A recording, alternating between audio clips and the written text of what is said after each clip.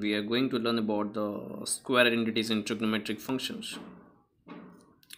So you know about square identities in uh, algebra. For example, a plus b whole square is equal to you have a square plus b square plus 2ab. This is a square identity in uh, algebra. So this is okay true in algebra. So here in trigonometric functions so now we are going to study about by using trigonometric functions some square entities. The first square entity is you have sine square theta plus cos square theta is equal to 1 it means that sine square theta is equal to 1 minus cos square theta. And cos square theta is equal to 1 minus sine square theta. You may ask me that whether this identity is true for trigonometric function or not. For example,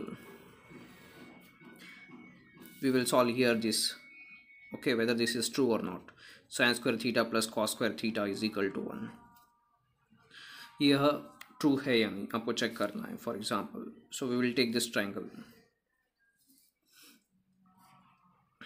this is 90 degree so this is theta this is abc so, let us consider LHS LHS is कितना है? Sine square theta plus cos square theta दिया हुआ है। अब बताओ sine theta का value कितना? Opposite by hypotenuse opposite is A B hypotenuse is A C okay यहाँ पे अपोजिट कितना है? ए बी है। और हाइपोटेनस है ए सी और बेस है बी सी साइन थीटा मतलब कितना? A B by A C whole square plus cos square theta बोल तो कितना है? सो बेस बाय हाइपोटनस ठीक है? यहाँ पे साइन थीटा का वैल्यू लिखता हूँ। Sine theta is equal to opposite by hypotenuse cos theta is equal to base by hypotenuse so cos square theta का वैल्यू सब्सिट्यूट कर दो। बेस बाय हाइपोटनस बेस कितना है? B C divide by A C whole square is equal to now taking L C M is A C square. तो तो अभी बचा A B square plus B C square. आपको पता था कि A B square plus B C square कितना है? So A B square plus B C square is equal to A C square अगर B is equal to ninety degree है। यह Pythagoras theorem के हिसाब से।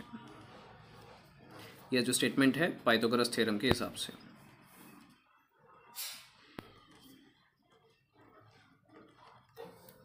तो ए सी स्क्वायर तो A C square divide by A B square plus B C square की जगह पर ए सी स्क्वायर लिख सकता हूँ डिवाइड बाई कितना? A C square one so one by one is equal to one जो कि आर एच एस के बराबर है. So this is true now तो अभी ये अपना फ़र्स्ट स्टेटमेंट हमने फ़र्स्ट एक्सप्रेशन हमने सॉल्व किया था. अब यहाँ पे sine square theta is equal to one minus cos square था. तो साइन थीटा का वैल्यू कितना होता है?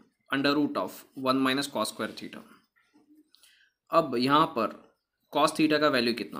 Under root of one minus sine square theta अब बताओ कि नेक्स्ट आइडेंटिटी स्टडी करते हैं। नेक्स्ट वाला आइडेंटिटी है one plus tan square theta is equal to sec square theta अब बताओ कि टेन स्क्वायर थीटा को ये साइड पे लेके जाओ। तो बन जाएगा sec square theta minus tan square theta का वैल्यू वन के बराबर होता है। और अभी एक आइडेंटिटी लिखते हैं। अब आपको क्या करना है कि tan square theta is equal to find करना है। Tan square theta is equal to one को उधर लिखे जाओ तो sec square theta minus one तो इससे हम सेक का सेक थीटा का फार्मूला भी लिख सकते हैं। स्क्वायर को इधर भेज दो तो रूट हो जाएगा। ठीक है? तो sec theta is equal to under root of one plus tan square theta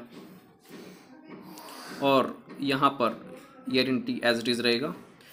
यहाँ पर स्क्वायर को इधर भेज दो तो टेन थीटा का वैल्यू मिल जाएगा। Tan theta is equal to under root of sec square theta minus one तो और थोड़े आइडेंटिटीज़ आप खुद होके सॉल्व कर लो, जो कि दिया हुआ है one plus cot square theta is equal to cosec square theta तो इनका यूज़ कर कर हम बड़े से बड़े प्रूफ करने वाले हैं जो कि फोर मार्क्स के लिए क्वेश्चन मैक्सिमम एग्ज़ाम से पूछा जाता है।